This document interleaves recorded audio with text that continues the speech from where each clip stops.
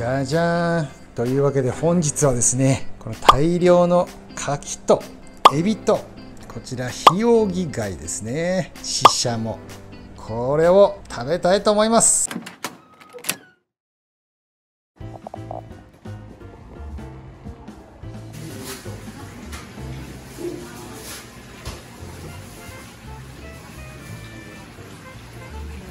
どうもバーマーモスの田中です。というわけで今日はですね、えー3月27日日曜日のですね夜9時半ということで今からえー日曜日恒例の一人飲み会を開催したいと思います。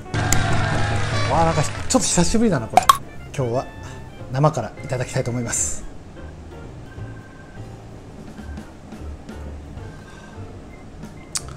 たまらん、うん、こんな感じでね焼いてるんですけど多分これで焼けないんじゃないかなこれ。どうだろう。アルミを乗せてみたんですけどね。これで焼けるの早くなるかなと思ってたんですけどなんかチリチリは言ってる。おっ焼けたっぽいですよこれ。ちょっと食べてみますね。どうだろう。うん。うんまっ。あこれでも焼ける。うんこりゃビール進むぜこりゃ。2杯目いただきます。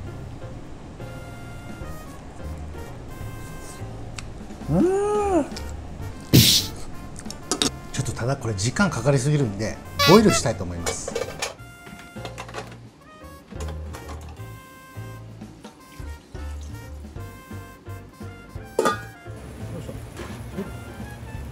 いい感じで焼けてきておりますけれど。ボイルした牡蠣もですねいい感じに仕上がっております。おいしそう。これは完全にでかい。うわでかい。う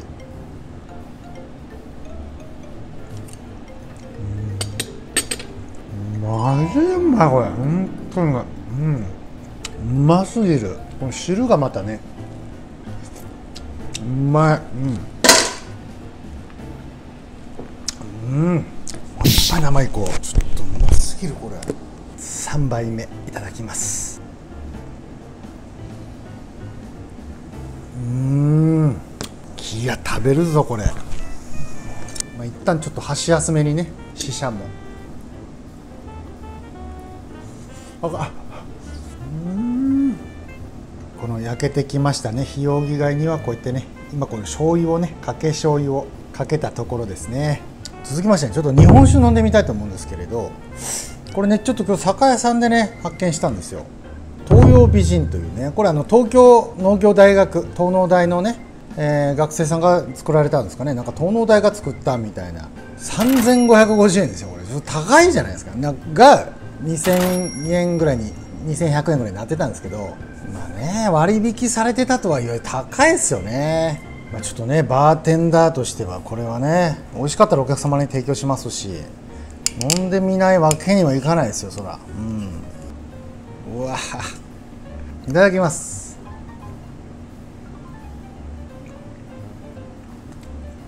甘っうまいこれ。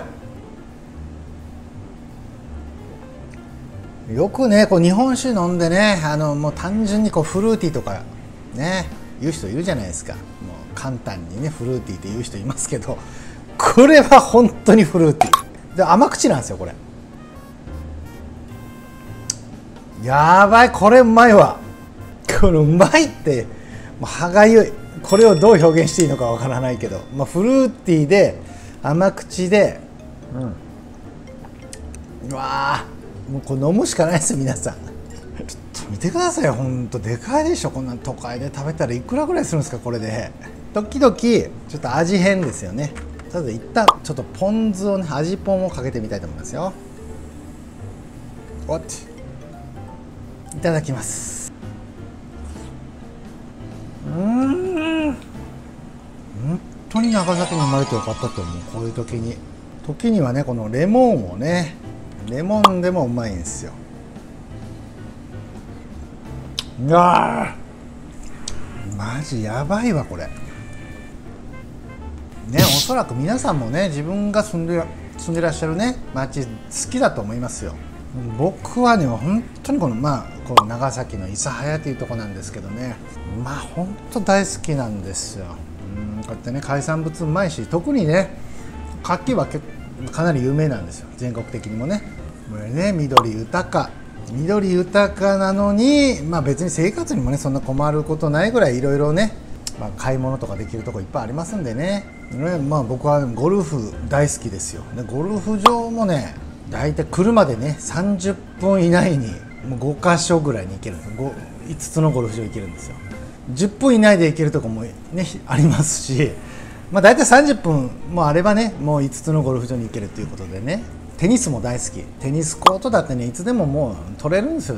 大体予約取れるんですよ。しかもね2時間やってね、えー、たった3あのだから600円ですよ2時間で。2人でいつもやってるんですけどだから割り勘にして大体だから2時間で300円ずつ払ってるんですけどね。でそれをと、えー、東京に住んでる友達に言ったら東京はもうなんか1時間2000円とかねなんかそんなこと言ってましたけど。っていうか予約が取れないって言ってましたね。だからもういろんな意味でねここに住んでてよかったなと思うんですよ、ま、あとね都会の方っていうのは通勤時間ってやっぱかなりこう大変じゃないですか。僕はもう通勤時間ね自転車で5分ですけど好きな仕事して好きな街に住んでね好きなお酒飲んで好きなゴルフと好きなテニスをしてこれ以上何がありますか？もういいですよ本当に。そしてこの日本酒うまいわこれ。東農大すごい。マジ。これお客さんに提供する前に僕は全部飲んでしまうかもこれもでかい。うん。いやもう柿最高。うんうんうん。ひよぎ貝も焼けました。これ本当に美味しい。マジうますぎこれ。本当にうまい。甘いエビも焼けましたよ。あーっ。頭。うん。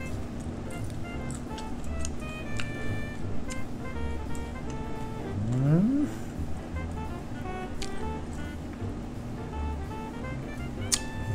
まこれほんとうま。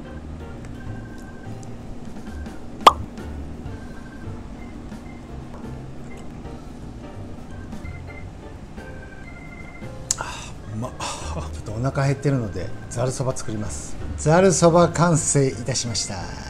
ざるそばを作った時のそば湯がありますのでそば焼酎雲海を注ぎましてそば湯で割ると。うまいな。ネギたっぷりわさびたっぷりのね。うん。そば焼酎うまいなこれ。お湯割り。そば焼酎をそば湯で割る。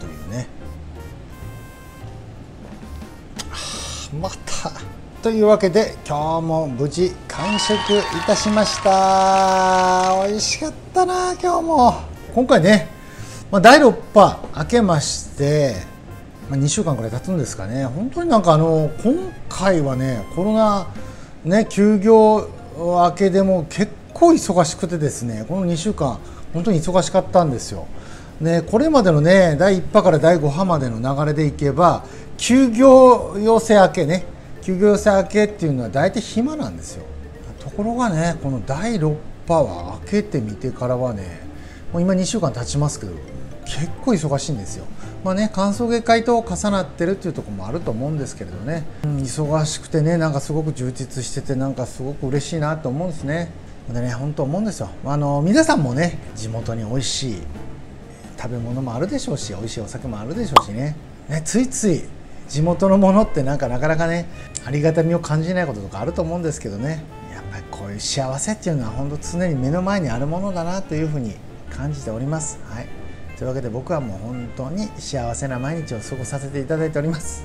よく言えばねコロナがちょっと落ち着いてきましたんでねえー、全国から視聴者様のね皆様から皆様が、ね、この長崎の私のバーマーモスの方に訪れていただけたらねもっともっと幸せだなというふうに思っておりますのでね皆様機会がありましたらぜひこちらのねバーマーモスの方まで足を運んでいただければと思います。